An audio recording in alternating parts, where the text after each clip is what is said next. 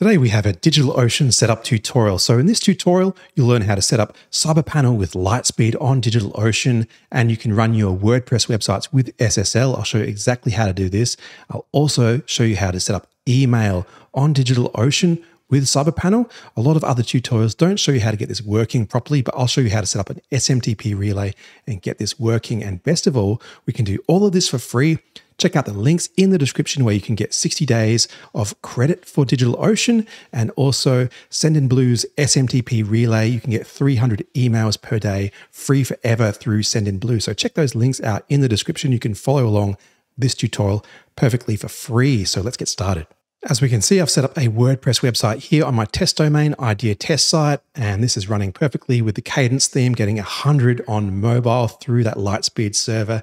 I've also got my email server set up here, running test messages through to my Gmail landing in my primary inbox. So I'll show you exactly how I did all of this step by step. So if this all sounds interesting, then keep watching. All right, once we're all signed up and logged into our DigitalOcean dashboard, what we're going to do is create a droplet. And then we choose a region. Choose a region closest to your audience. I'm going to go with New York for this example here. And then scrolling down, we're going to choose our image. So we're going to click Marketplace there and just start typing CyberPanel in here. So I'll just type Cyber and you'll find CyberPanel looks like that one. So we select CyberPanel and there we go. It looks like CyberPanel on Ubuntu. And then going down, we are going to choose our size of our droplets. So this will work on a um, even the smallest one. So even a regular six dollar um, one gigabyte one will do. For this example, I think I'll use a premium Intel. I was just benchmarking these today, premium Intel and premium AMD. They cost one dollar extra. The Intel was slightly faster on the WordPress benchmark. I think it got a 7.5. The AMD got a 7.1. I have seen um, CPU benchmarks where the AMD is a slightly better CPU. But Intel has a slightly better drive. So the overall web um, and especially the database performance is a little better on the Intel. So I'm going to use the Intel, but they are very similar in their benchmarks from what I've seen. I'm going to select the $7 one for this example. And then scrolling down, we can set up an authentication method. You can use a password or an SSH key. I'll use a password for today's example. Pop a password in there. Make it nice and long and complex if you're using a password. And then we can add some optional things on here. You can add backups, so you can add improved metrics. I'll leave those blank for this example, um, but you can feel free to add those if you like. We're going to give this a name. I'm going to call it um, the, the host name. So idea test uh, site, test site is what I'm going to use today, but um, whatever you're using can go in there. And then we can go ahead and click create. After clicking create, you'll see a blue progress bar as your droplet sets up. So just be patient and wait for that to finish. And after a few seconds, you will get a complete droplet there with your public IP address. So I'm going to copy that public IP address. I'm going to point my domain over to this IP address. So in my case, I bought my domain over from Namecheap. If you've never bought a domain, I'll link to a tutorial where I show you how to set up a domain if you'd like to do that. But um, for most of us who are familiar with domains, um, I've got mine hosted on Namecheap. Idea Test Site is what we're using today. We are under our domain list and under advanced DNS. So we're going to add some DNS records here. So um, whatever you're using, just go to your DNS manager and add an A record for at point it to your IP address that we got before there.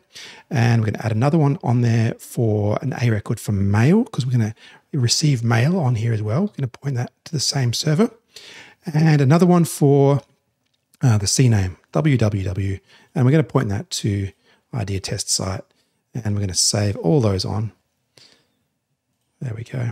And now that those are all saved, we can head back to DigitalOcean and check out our droplet. So let's go ahead and click our droplet there. And we can see our details here. And if we click the actual name of our droplet there, we can get to the management screen. So um, from here, we'll just wait for this to load up and we can actually go to the console. So this will actually SSH into our console through our browser, which is very convenient. So now that this is connected, we can see um, our server details here. It's going to actually say, do you wish to update the system now? I might make this a little bigger so we can see. There we go. We're going to use capital Y for yes there um, and hit enter, and it's going to run an update on our server. So wait for this to finish. This will take a minute or two. So I'm going to come back in a second. All right, so that update took a bit under five minutes to complete. And up here, you'll notice that you can get your CyberPanel admin password with this command here. So I'm just going to copy that actually, and then paste it down here, and then press enter.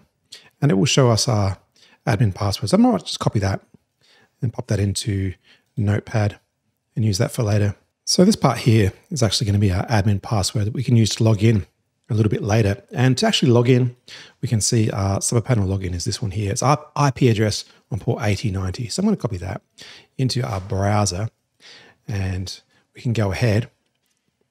You'll get an SSL warning the first time we do this and uh, we can just proceed through there to our panel login page here. So the login will look like this, and the username is going to be admin, and the password is going to be the password that we got from the console just then. So we go ahead and sign in here. All right, so the first thing we can do is start setting up our website. So we go to websites and we're going to create a website. And first of all, we can turn test domain off. I'm going to set up a uh, domain here with the idea test site that we talked about earlier. So default package, um, admin is the owner. The domain name is idea uh, test site in my case, but your domain obviously goes in there. Put in a email and then select our PHP. I'll go with the most recent PHP 8.1 in my case here, and we want SSL and open base protection there. And before we click create, just make sure that your domain is actually hitting your IP address. You can do this by using uh, dnschecker.org. Put in your domain there, check the A um, record there, and make sure that IP address lines up with your server. So that looks like it's hitting my server IP just fine. And now the website creation should work just fine. Um, you want to make sure that's working because the SSL won't issue correctly if it's not pointed to your server. So um, let, us let this do its thing and we'll come back in a second. All right, so we've got a success message here. If we open a new tab, we can actually see our dear test site should be working just fine. We've got an SSL padlock on here, so this looks like a good start. Um, the next thing we can do is rather than using this IP address to access CyberPanel, we can actually use our domain name now. So all we have to do is go to SSL and do host name SSL there. And then we can select the website that we just set up there and we can click issue SSL. So I've got a success message there. We can access CyberPanel on our domain on port 8090 now. So let's go ahead and try that. So we can head to our domain and we can put port 8090 on here. So colon 8090. And this should take us to our CyberPanel login now. And there we go. We can actually log in again with the same admin password that we um, set up earlier. So let's go ahead and sign in. The next thing I'll do is I'll install WordPress on our website. So let's go to our websites again here and list our websites. We'll see our ID test site and we can click manage. We can see we've got our SSL certificate that will expire in 89 days, but that does automatically renew, so don't worry about that one. Um, rewrite rules, we might actually do this while we're here. We can do a SSL rewrite. So force HTTP to HTTPS, that's worth selecting. Save that on there. And then also, oh, that looks all good. Scrolling down, we can see we've got our application installer. So there's a few choices here. I'll use WordPress for this example. This is WordPress with LiteSpeed Cache. We can just fill this in. So that is your blog title, your username, and nice strong password there, admin email, path. Leave the path blank to install it onto your home directory and go ahead and click install. And this is going to go ahead and install WordPress. And we've got our install successful. If we head over to our test site, we can see we've got a blank WordPress site on here. If I head to the admin login, so dash WP dash, oh, WP admin there. Um, WP-admin, we can actually log in with the credentials that we just set up. So that was, my login was IdeaSpot and the password goes in there. Now we can go ahead and log in. I can update that password or save your password as you like. And this is WordPress. That's good to go. We've got LiteSpeed Cache automatically installed as well. And from here, you can go to Appearance and Themes, install your favorite theme, and start building. For example, I was using Kadence theme for the testing, so I'll link to that in the description. Also, you can go to Plugins, um, add a migration plugin like all in one migration, and bring your existing WordPress website into your new server. I'll link to a tutorial for that as well in the description. The next thing we can do is back in CyberPanel, we can start setting up email now. So under SSL, let's start with our mail server SSL. And so we want to select our website again here, and we're going to issue SSL for the mail server. And we've got our success message here. The next thing we can do is under email, we're going to create an email. And we select our website here, and we're going to select our username. So I'm going to be Alex for my email, and we can put in a nice password as well. And then click create. That looks all good. Uh, we can see details about our email under email. And if we list our emails here, we can select our domain again. And the first time you do this, you'll normally get this um, red error message here, but you can automatically fix that by clicking Fix Now. Um, this is very common, so just wait for that to auto correct. So it takes about a minute and you'll get a success message. So this looks all good. So one issue with DigitalOcean is that it actually blocks port 25. So to get around that when you've set up your new account, I'll show you how to use an SMTP relay rather than trying to use the DigitalOcean server. So for this, I'm going to use Sendinblue. I'll put a link in the description where you can get your free Sendinblue account. So go ahead and check that link out. Uh, the other free option is mailjet.com. I've got a link to that as well, but Sendinblue will give you 300 emails per day. Um, this one will give you 200 on the free plan. So um, I slightly prefer Sendinblue. Um, once you've logged into your Sendinblue account, you can head over to your um, SMTP and API. That'll take you to this screen. You want to be under your SMTP tab. And we're going to set up an SMTP uh, key for our server. So we basically click generate a new SMTP key. I'm going to name this one um, cyber test. I generate that key. Now, this will take a second and we want to click that copy button. That'll copy it to our clipboard. Now, make sure we keep this safe. I'm going to paste it into Notepad here. We're going to use this a bit later, so make sure you don't lose this. Once you close this, you won't get another chance to get an access to that uh, key again. So make sure you copy it and keep it safe. And so that's going to be our password and our server port and login are going to be uh, detailed there. So make sure you're aware of those. Then we head back to our DigitalOcean uh, console. So go ahead and load up your console again. I've actually still got my console open, so I can go back to that window. And here we're going to edit our email postfix config. So the command we're going to use is nano, uh, our main config there for postfix. So I'll put all these commands over on my blog so you can just paste these in.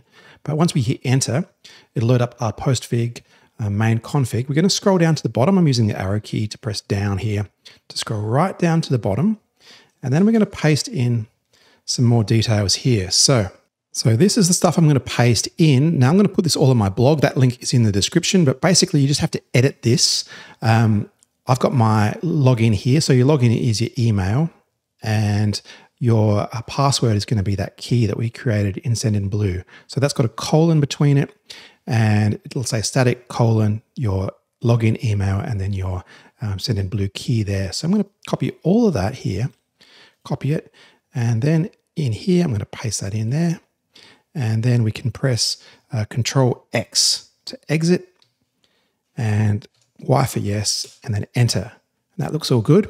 And then we restart post, postfix with this command here. So I'm going to paste that command in there again. And that'll restart our postfix email server. So that looks all good. All of our emails are going to be routed through that Sendinblue server. And that gets around that issue with uh, DigitalOcean blocking port 25. We can use Sendinblue rather than DigitalOcean for sending out those emails. The next step is back in Sendinblue. We get to head to our senders and IP, we're going to set up our domain in Sendinblue here. So click on domain. What we're going to do is verify our domain through Sendinblue here. So in my case, I'm using ideatest.site. Uh, there we go. Let's save one in. And we're going to need to put these DNS records into our domain. So I'm going to copy this value here. This is a text record. So back in our DNS manager on Namecheap, we can actually add records in. So I'm going to add that text record here. Um, this one was at the root, so we put at the root, paste that value in and click save. So that one looks all good. The next one is uh, mail underscore domain key. Is that one here. We're going to add that one in. That is also a text record. And that value is all this stuff here. We can just click copy and paste that in there. Again, we click the tick this looks all good. And once those records are in, we can go back to Sendinblue here. We can click verify and authenticate. So we've got a success message there. That looks all good. The other DNS record worth adding is a um, DMARC record as well. So we can actually add another text record here. That's going to be underscore DMARC. And then the value and I'll put for the value, I'll put v equals dmarc 1, p equals none. Um, again, this will all be on my blog. You can paste that in, but that's just a blank record that can actually improve our sender reputation by having a DMARC record as well. So I'll pop that in as well. And we do want to put an MX record. So depending on your um, DNS manager, you may be able to add an MX record, but on Namecheap, you do it through mail setting here. We want to do uh, custom MX for our mail setting. So the host is just going to be at, and the mail server is going to be mail mail.id test site in my case, but your domain will go there. Priority can be 10 and TTL can be automatic. We can save that in. So that should be everything we need for our emails to work. Let's head back to Cyberpanel here and under email, we can access our webmail. It's just a case of setting up the uh, login with your email that you set up earlier. I'd set up um, Alex at idea test site with the password that we set up and I'm click remember me, sign in. This should log us in. This looks all good. Let's set up a new message and do a test. So I'm just going to send a quick message over to Gmail. Go ahead and send that through. And after a few seconds, that should land in our inbox here. There we go. Um, let's open that up. That's landed okay in my inbox. And I'll have a look at the show original here. And we can just see if we're passing our SPF, DKIM, and DMARC. So that looks all good. If you are having trouble with your emails not landing in the primary inbox, if they're going to promotions or updates or something, just check out my other video about improving your sender reputation because there's a few tips in that video. But this looks like it's working just fine. The other nice thing about this SMTP setup is that your WordPress transactional email should work as well through Sendinblue as well. So if we go to, let's for example, lost our password and um, let's put in our email address there, get a new password, we can actually see that our WordPress emails should pop up as well. They're coming through just fine. Uh, if we have a look, uh, again, these are all passing as well. So, uh, so your WooCommerce emails and your um, uh, subscriber emails will go through just fine as well with this setup um, using that SMTP relay. Finally, back in Cyberpanel, there's a few more settings to be aware of uh, before I finish up here. So PHP, your PHP config is available through the menu there, and you can select the version that you're using. And by default, the upload max file size is quite small. So if you're transferring over like a big migration and you need to upload a big file, you might want to make that a bit bigger. Um, same with the memory limit, you might make that 256 post max size, you can make that bigger as well, but tweak those to your own preferences and save that. And just, just be aware of where that sits. You'll get a success message there. And the other um, things you can turn on is a few extra security features you can turn on under security. So you've got uh, your mod security conf there. And by default, it's not installed, so you can go ahead and install that. Just wait for that to set up. You've got a success message there. Also, we go to, uh, it'll reload. And then we can go down to mod security rules.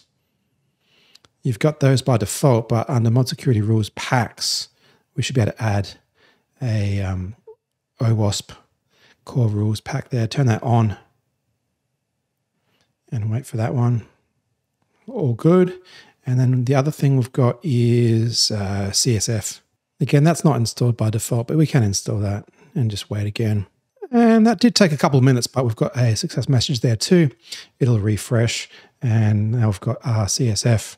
And finally, you may also want to connect your server to Cyberpanel Cloud. That gives you a safe way of doing server updates as well. So check that out. I actually did that in a previous video. I'll link to that on the end screen here, but that basically covers all the steps you need to get your um, websites running through WordPress and your emails sending properly through Sendinblue. So um, give us a like if that was helpful. Subscribe if you haven't already, but thanks for watching. I'll see you next time.